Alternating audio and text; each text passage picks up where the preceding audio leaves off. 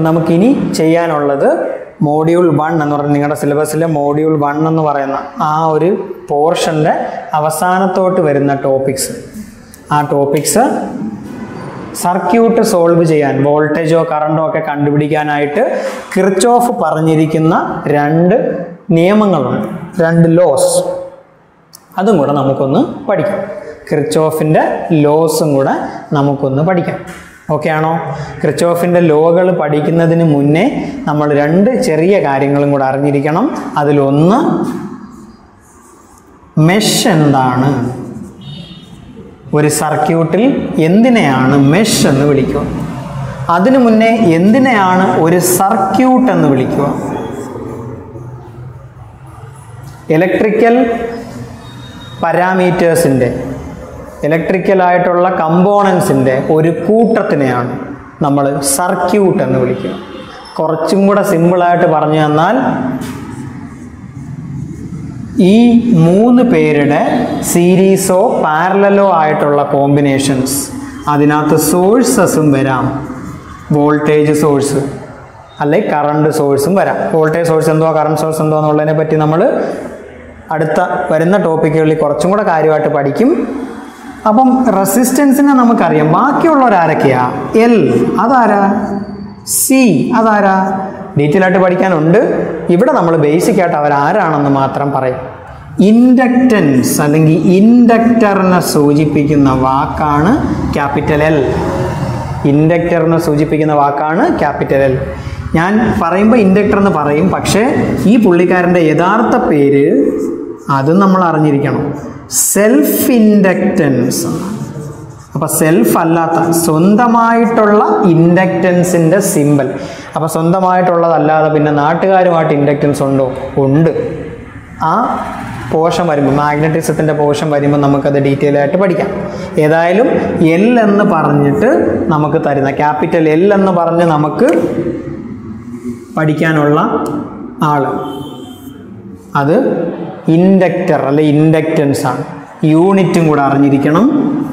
Henry. Capital H എന്നാണ് നമ്മൾ ആ യൂണിറ്റിനെ സൂചിപ്പിക്കാൻ ഉപയോഗിക്കുന്ന ലെറ്റർ. സി. സിയെ നിങ്ങൾക്ക് കുറച്ചും കൂടെ അറിയാം. C കപ്പാസിറ്ററാണ് capacitor. Unit farad. Capital F വെച്ചിട്ടാണ് നമ്മൾ ഫാരഡിനെ ഡിനോട്ട് ചെയ്യുക. ക്യാപിറ്റൽ എഫ് വെച്ചിട്ടാണ് നമ്മൾ ഫാരഡിനെ ഡിനോട്ട് ചെയ്യുക. ക്യാപിറ്റൽ എഫ് ഓക്കെ ആണോ? അപ്പം ഈ ഇവരുടെ പേരുകൾ ബേസിക് ആയിട്ട് അറിഞ്ഞിരുന്നാൽ മാത്രം മതിയേ. ഈ മൂന്ന് പേരുടെയും കോമ്പിനേഷൻ അവരെ സീരീസ് ആയിട്ടോ പാരലായിട്ടോ മാറ്റിയും മറിച്ചും ഒക്കെ കണക്ട് ചെയ്യാം. ചിലപ്പോൾ ആ സർക്യൂട്ടിൽ സോഴ്സസും കാണും. വോൾട്ടേജിന്റെ സോഴ്സ് കാണും. അങ്ങനെ ഇവരെല്ലാം കൂടെ ഉള്ള കോമ്പിനേഷനെയാണ് സർക്യൂട്ട് എന്ന് പറയുക. ക്ലോസ്ഡ് കോമ്പിനേഷൻ ആയിരിക്കണം. അതെന്തോ സാറേ ക്ലോസ്ഡ് കോമ്പിനേഷൻ ആ വാക്ക് അത്ര കൊള്ളത്തില്ല അല്ലയോ എങ്കിൽ ഒരു പടം വരച്ചങ്ങ് നോക്കാം. ഒരു വോൾട്ടേജ് സോഴ്സ്. ഇങ്ങനെ വരച്ചില്ലെങ്കിലും കുഴപ്പമില്ല. നമുക്ക് പരിചയമുള്ള ഒരു സിമ്പിളായിട്ട് വരയ്ക്കാം. ബാറ്ററി ആയിട്ട് വരച്ചാലും ഒരു പ്രശ്നവുമില്ല ഒരു ബാറ്ററി ഒരു റെസിസ്റ്റൻസ് വേറൊരു റെസിസ്റ്റൻസ് എട്ടും നാലും. ഇത് പന്ത്രണ്ട് അല്ലെ പത്ത് വോൾട്ട്. ഇതൊരു സർക്യൂട്ടല്ല സംഗതി കൊള്ളാം. റെസിസ്റ്റൻസും സോഴ്സും എല്ലാം ഉണ്ട്.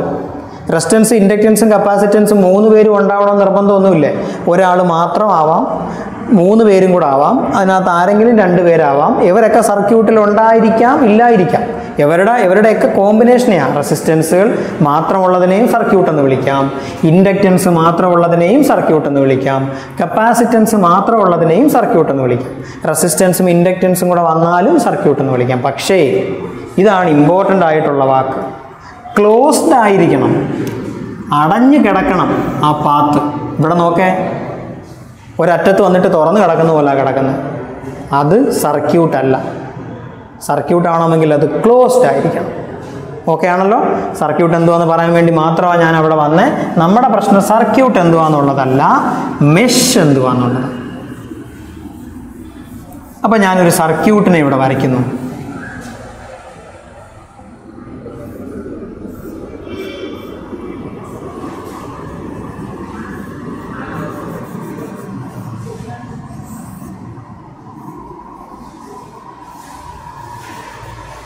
വലുതോ ചെറുതോ എങ്ങനെ വേണമെങ്കിലും വരയ്ക്കാമേ. സർക്യൂട്ടുകൾ വലുതോ ചെറുതോ ആയിട്ട് വരയ്ക്കാം പ്രശ്നമൊന്നുമില്ല. റെസിസ്റ്റൻസുകൾ മാത്രമുള്ള ഒരു സർക്യൂട്ടാണെന്ന് വിചാരിക്കും ഒരു ഇരുപത് വോൾട്ടിന്റെ സോഴ്സ് ഉണ്ട്. ഈ വലിയ വര പോസിറ്റീവിനെയും ചെറിയ വര നെഗറ്റീവിനെയുമാണ് സൂചിപ്പിക്കുന്നതെന്ന് നിങ്ങൾക്ക് അറിയാമായിരിക്കും. അറിയത്തില്ലെങ്കിൽ അത് മനസ്സിലാക്കിക്കോണം. ബാറ്ററിയുടെ സിമ്പലാണ് നമ്മൾ ഈ വരച്ചേക്കുന്നത്. ബാറ്ററി അല്ലെങ്കിൽ സെല്ലിന്റെ സിമ്പൽ ഒരു വലിയ വരയും ഒരു ചെറിയ വരയും. അതിലെ വലിയ വര പോസിറ്റീവ് ടെർമിനലിനെയും ചെറിയ വര നെഗറ്റീവ് ടെർമിനലിനെയും സൂചിപ്പിക്കുന്നു. ഈ വരച്ചേക്കുന്ന സർക്യൂട്ടിൽ ഇത് ക്ലോസ്ഡാണ് അപ്പം റെസിസ്റ്റൻസ് മാത്രമേ ഉള്ളൂ. ആയിക്കോട്ടെ.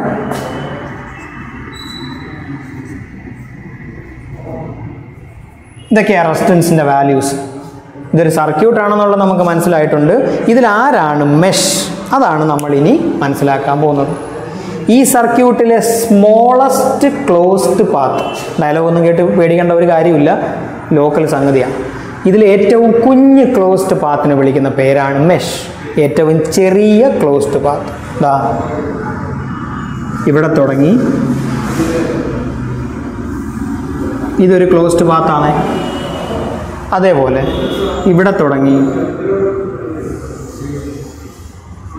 ഇതൊരു ക്ലോസ്ഡ് പാത്താണ്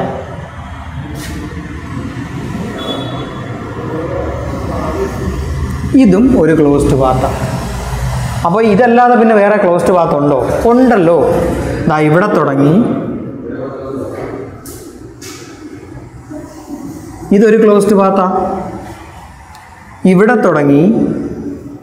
ഈ മൊത്തം സംഭവം കഴിഞ്ഞിട്ട് തിരിച്ചിവിടെ വരുന്ന അതും ഒരു ക്ലോസ്ഡ് പാത്താണ് പക്ഷേ mesh is the smallest closed path in a circuit ഇതാ ഇയാൾ നമ്മൾ ആദ്യം വരച്ചതാ ഇത്. ഇതാണ് മെഷ് ഇയാൾ ഇനി ഡിവൈഡ് ചെയ്യാൻ പറ്റത്തില്ല. അതിനകത്തിനി വേറൊരു ക്ലോസ്ഡ് പാത്ത് ഇല്ല. പക്ഷേ നിങ്ങൾ ഈ വരച്ചതാ. വെളി വരച്ച ഈ പുള്ളിക്കാരനകത്തോ. അതിന്റെ അകത്ത് പിന്നെയും ക്ലോസ്ഡ് പാത്തുകളുണ്ട് ഏറ്റവും ചെറിയ ക്ലോസ്ഡ് പാത്ത് അല്ല നിങ്ങൾ ഈ വരച്ച ക്ലോസ്ഡ് പാത്ത് അതുകൊണ്ട് അയാളെ മെഷ് എന്ന് വിളിക്കാൻ പറ്റത്തില്ല. ഏറ്റവും ചെറിയ ക്ലോസ്ഡ് പാത്തിനെയാണ് നമ്മൾ മെഷ് എന്ന് വിളിക്കുക. ഒരു സർക്യൂട്ടിലെ ഏറ്റവും ചെറിയ ക്ലോസ്ഡ് പാത്തിനെ വിളിക്കുന്ന പേരാണ്. Smallest closed path in a circuit is called a mesh smallest closed path ഒരു എക്സാമ്പിൾ പോലെ നമുക്ക് വരയ്ക്കാം.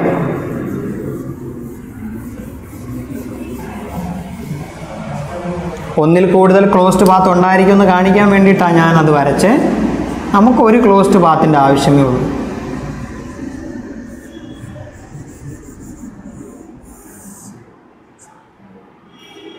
ഇതൊരു മെഷ ക്ലോസ്ഡ് ആണ് സ്മോളസ്റ്റ് ഇനി വേറെ ക്ലോസ്ഡ് പാത്തൊന്നും അതിനകത്തില്ല. പത്ത് വോൾട്ട് സപ്ലൈ അഞ്ചും നാലും രണ്ട് റെസിസ്റ്റൻസ് ഇതൊരു മെഷാണ് സ്മോളസ്റ്റ് ക്ലോസ്ഡ് പാത്ത്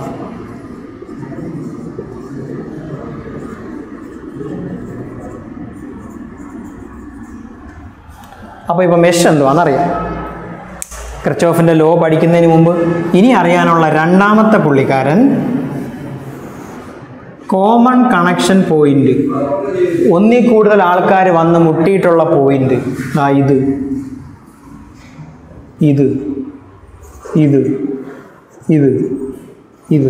ഇതെല്ലാം നോഡാണ് smallest closed path in a circuit sorry common point in a circuit is called node common point junction എന്ന് വിചാരിച്ചാൽ മതി. Junction സ്മോ common point in a circuit is called node ഒന്നിൽ കൂടുതൽ ആൾക്കാർ വന്ന് കണ്ടുമുട്ടുന്ന ജംഗ്ഷൻ അത്രേ ഉള്ളൂ നോഡിന്റെ അർത്ഥം.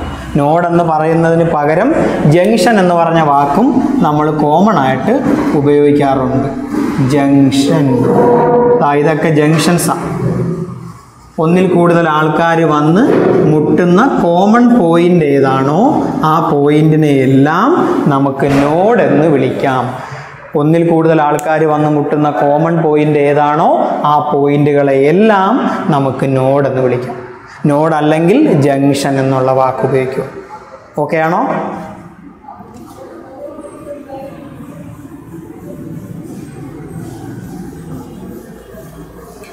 മെഷും നോഡും എന്താണെന്ന് അറിയാമെങ്കിൽ മെഷും നോഡും എന്താണെന്ന് അറിയാമെങ്കിൽ നമുക്ക് ക്രിച്ചോഫിന്റെ ലോകളിലേക്ക് കടക്കാം. ക്രിച്ചോഫിന്റെ രണ്ട് നിയമങ്ങളിലേക്ക് കടക്കാം. ആദ്യത്തെ law.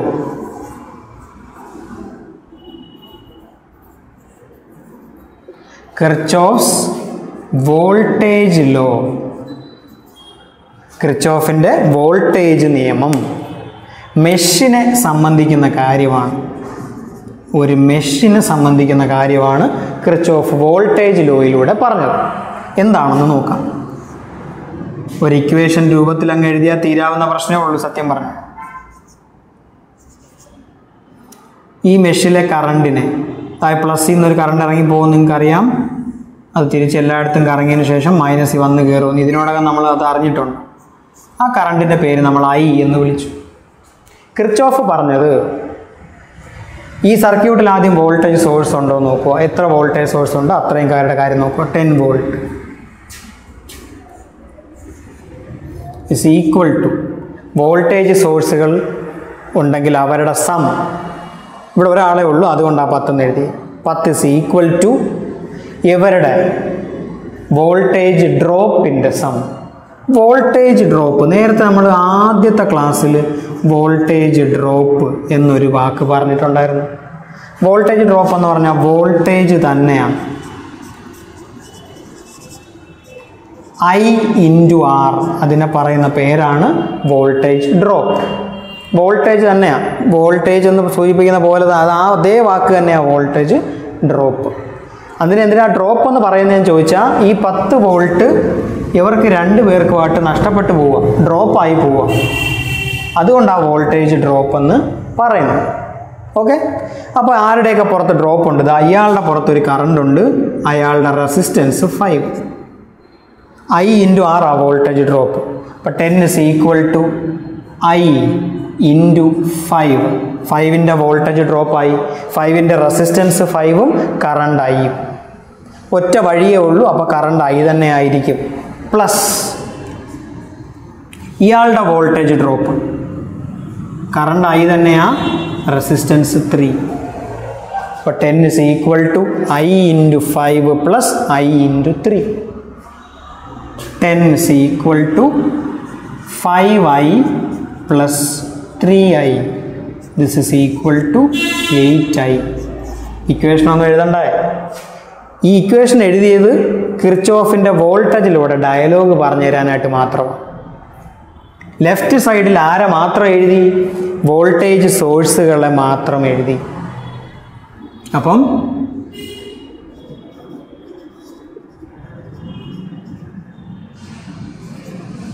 algebraic sum of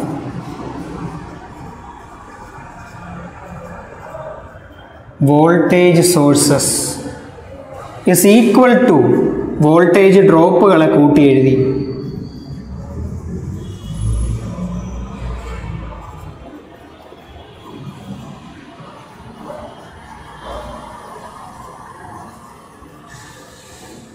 Algebraic sum of voltage sources is equal to algebraic sum of voltage drops എന്തോ സാറേ ഓൾജിബ്രൈക് സം അല്ലേ ആ വാക്കൊരു മെനയുള്ള വാക്കല്ല.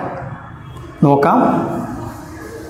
ഒന്നുമില്ലടോ. സം തന്നെയാ. പോസിറ്റീവും നെഗറ്റീവും ടേംസ് വരാം എന്നുള്ളത് കൊണ്ട് ഓൾജിബ്രൈക്ക് എന്നുള്ള വാക്ക് ചേർക്കുന്നതേ ഉള്ളൂ. ആ ക്രിച്ചോഫ് പറഞ്ഞ സ്റ്റേറ്റ്മെന്റിൽ ഓൾജിബ്രൈക്ക് എന്നാണ് പറഞ്ഞേക്കുന്നത് കാരണം പ്ലസും മൈനസും ടേംസ് വരാം. അതുകൊണ്ട് ഓൾജിബ്രൈക്ക് എന്ന് പറയുന്നതേ ഉള്ളൂ. ചുരുക്കം പറഞ്ഞാൽ ഒരു മെഷിൽ ഈ ഇത്രയും കാര്യം മാത്രം പറഞ്ഞാൽ പോരാ. ഇൻ എ മെഷ് അതാണ് ക്രിച്ചോഫ് പറഞ്ഞത്. അപ്പോൾ ക്രിച്ചോഫിന്റെ വോൾട്ടേജ് ലോ ഇതാണ് the algebraic sum of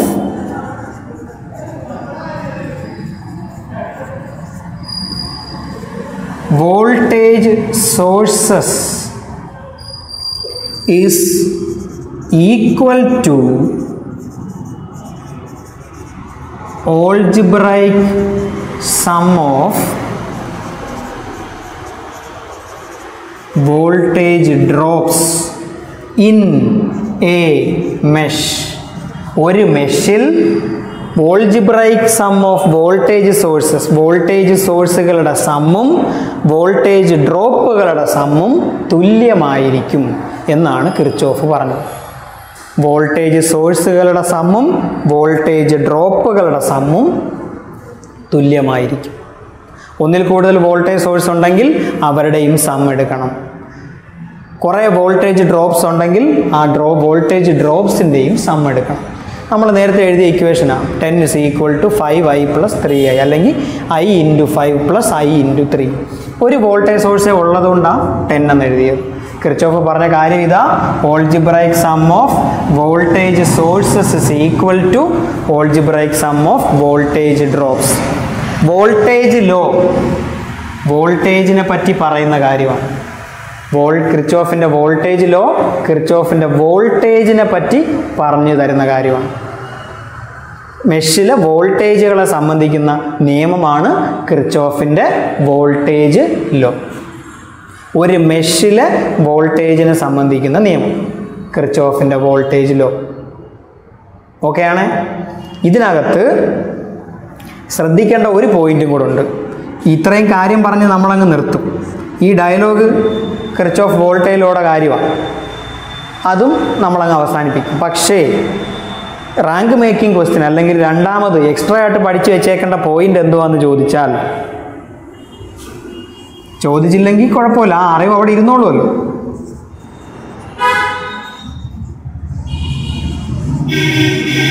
ക്രിച്ച് of voltage law എന്തിന്റെ എക്സാമ്പിൾ ആണെന്ന് ചോദിച്ചാൽ Kirchhoff voltage law is an example of law of conservation of energy ഈ സൈഡിലെ വോൾട്ടേജ് ഇസ് ഈക്വൽ ടു ഈ സൈഡിലെ വോൾട്ടേജ് എന്ന് പറയുന്നത് എനർജി എവിടെയും നഷ്ടപ്പെടുന്നില്ല എന്നുള്ളതിന്റെ തെളിവാണ്. Kirchhoff voltage law is an is an example of law of conservation of energy അല്ലെങ്കിൽ Kirchhoff voltage law is an illustration of ആ വലിയ വാക്ക് ഉപയോഗിക്കണമെന്ന് വെച്ചാൽ ഞാൻ എക്സാമ്പിൾ എന്ന് പറഞ്ഞേ. ആ വാക്ക് കേട്ടാലും പേടിക്കരുത്. Kirchhoff voltage law is an illustration example എന്ന അർത്ഥം ഇല്ലസ്ട്രേഷൻ എന്നൊക്കെ ഒരു ജാടയ്ക്ക് വേണ്ടി പറയുമെന്നേ ഉള്ളൂ. Kirchhoff voltage law is an illustration of law of conservation of energy അല്ലെങ്കിൽ Kirchhoff voltage law is an example of law of conservation of energy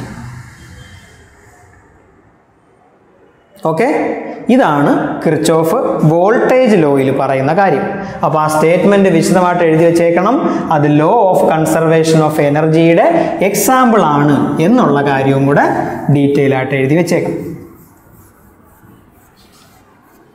ക്രിച്ചോഫിന്റെ ഒരു ലോ നമ്മൾ പറഞ്ഞു.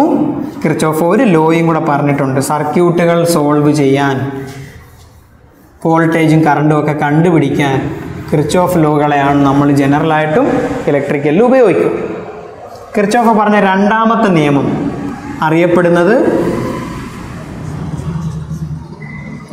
ക്രിച്ചോഫിന്റെ കറണ്ട് ലോ ഒരു നോഡിനെ പറ്റിയാണ്. നമ്മൾ നേരത്തെ നോഡ് എന്തുവാ ജംഗ്ഷൻ എന്തുവാന്നൊക്കെ പറഞ്ഞായിരുന്നു.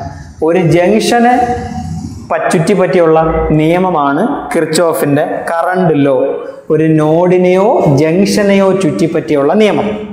കിർച്ചോഫിന്റെ കറണ്ട് ലോ പറയുന്നത് the current entering a junction is equal to the current leaving a junction ഒരു ജംഗ്ഷനിൽ ഒരു നോഡിൽ ഇതാണ്ട കോമൺ പോയിന്റ് നാല് പേര് വന്ന് തൊട്ടേക്കുന്ന കോമൺ സ്ഥലം. അവിടോട്ട് വരുന്ന കറണ്ട് എന്ററിങ് നോക്കിയതാ ഇയാൾ അകത്തോട്ടാ. ഇയാളും അകത്തോട്ടാ. I one plus I four അകത്തോട്ടുള്ള കറണ്ടുകളെല്ലാം എഴുതി. Is equal to the current leaving leaving എന്ന് പറഞ്ഞാൽ പുറത്തേക്ക് പോവുക. ദ ഐ ത്രീ പുറത്തേക്കാണ് പോയത്. ഐ ടു അതും പുറത്തേക്കാ പോയത്. This is equal to I two plus I three the current entering a junction is equal to the current leaving a junction ഒരു ജംഗ്ഷനിൽ ഒരു കോമൺ പോയിന്റിൽ വന്ന് കയറുന്ന കറണ്ടും ഇറങ്ങിപ്പോകുന്ന കറണ്ടും തുല്യമാണ് എന്നാണ് കിർച്ചോഫ് പറഞ്ഞേക്കുന്നത്. ഓക്കെ ആണോ? ഒരു ജംഗ്ഷനിൽ വന്ന് കയറുന്ന അതിനകത്തോട്ട് വരുന്ന മൊത്തം കറണ്ടുകളും അവിടുന്ന് ഇറങ്ങിപ്പോകുന്ന മൊത്തം കറണ്ടുകളും തുല്യമാണ് എന്നാണ്. ഈ ഒരു ഇക്വേഷൻ ഈ ഒരു പടവും ഉണ്ടെങ്കിൽ മനസ്സിലാക്കാവുന്നേ ഉള്ളൂ. എന്താണ് കിർച്ചോഫ് ലോ എന്ന്. ഇതാണ് കിർച്ചോഫ് ലോയുടെ വാചകം. ദ വേണമെങ്കിൽ ഇവിടെ സം എന്നൊക്കെ എഴുതാമേ.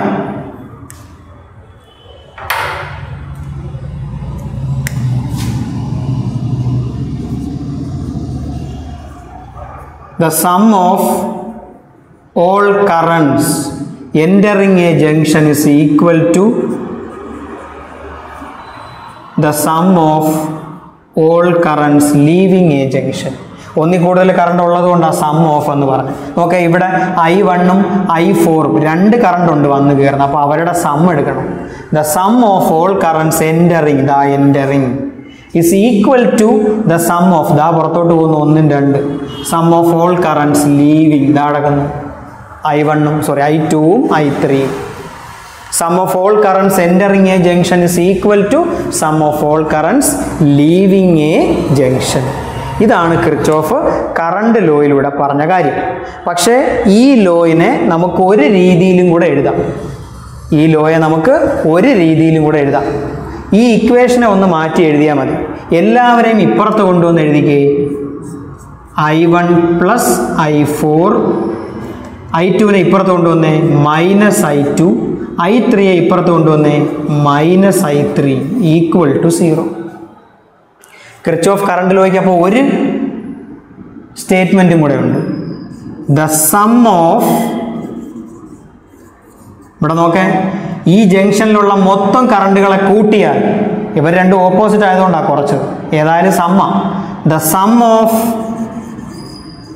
all currents in a junction is equal to zero ഇതാണ് കറണ്ട് ലോയുടെ രണ്ടാമത്തെ സ്റ്റേറ്റ്മെന്റ് ഒരു ജംഗ്ഷനിലെ മൊത്തം കറണ്ടുകളെ കൂട്ടിയാൽ സീറോ കിട്ടുമെന്ന് വരുന്ന കറണ്ട് ഇസ് ഈക്വൽ ടു പോകുന്ന കറണ്ട് അതൊരു സ്റ്റേറ്റ്മെന്റ് രണ്ടാമത്തെ സ്റ്റേറ്റ്മെന്റ് മൊത്തം കറണ്ടുകളെ കൂട്ടിയാൽ സീറോ ആണ് ആൻസർ ഇതിലേത് രീതിയിൽ വേണമെങ്കിലും ക്രിച്ചോഫ്സ് കറണ്ട് ലോയുടെ സ്റ്റേറ്റ്മെന്റ് ചോദിക്കാം. വരുന്ന കറണ്ട് ഇസ് ഈക്വൽ ടു പോകുന്ന കറണ്ട് അങ്ങനെ വേണമെങ്കിലും പറയാം. ഈ ഇക്വേഷനും ആണ്. അതല്ലെങ്കിൽ മൊത്തം കറണ്ടുകളെ കൂട്ടിയാൽ ടോട്ടൽ കറണ്ട് മൊത്തം കറണ്ടുകളെ കൂട്ടിയാൽ സീറോ കിട്ടും. അങ്ങനെയും പറയാം. ഇതിലേത് പറഞ്ഞാലും അത് കിർച്ചോഫിന്റെ കറണ്ട് ലോയാണ് ഒന്നും കൂടെ പറയാം. കിർച്ചോഫിലെ കറണ്ട് ലോയിൽ പറഞ്ഞ കാര്യം the sum of all currents entering the I വണ്ണും അകത്തോട്ട് ഐ ഫോറും അകത്തോട്ട്. I one plus I four is equal to sum of all currents leaving the junction. പുറത്തോട്ട് പോകുന്നു. I two plus I three ഇതാ രണ്ടുപേര് പുറത്തോട്ട് പോയി. അതല്ലെങ്കിൽ എവരെയും കൂടെ ഇപ്പുറത്ത് കൊണ്ടുവന്നിട്ട് ഒരു സൈഡ് സീറോ ആക്കാം.